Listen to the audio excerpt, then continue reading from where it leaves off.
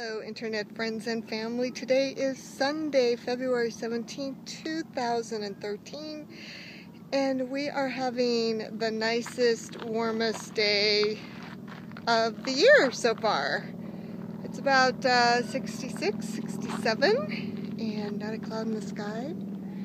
So it's gorgeous. I'm at the park by my house, and um, I, it's something really interesting just happened. I was walking. It's a square park, okay? So it's square.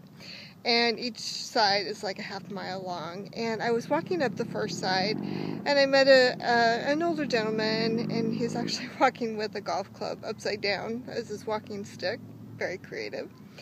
And uh, he's like, Are we going to make it around? And I said, Oh, I'm not.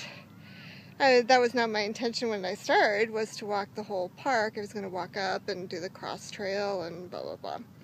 So anyway, when I got to the corner, I thought, well, I should walk down to the other end. And then I thought, I should just walk the whole circumference of this park. I've never done it before.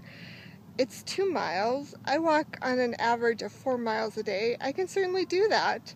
And I did. So, woohoo, yay for me. Another first. Um, it's kind of, you know, there's a lot of traffic around it, so it's not one of the more um, quiet parks that I go to walk at. But um, it was a beautiful day to do it, and uh, and I pushed myself and did something that I didn't plan on doing, and I was fully capable of doing. And so it just made me think when I, after I answered that gentleman saying, "Well, you know, I'm not going to make it," that I would say that and yet I was able to do more than I initially thought that I could. So, beautiful, beautiful day. Just hanging out here. Gonna go home, see the kids, kitties, and um, see what the rest of the day brings. So, if I don't talk to you again, I will talk to you tomorrow.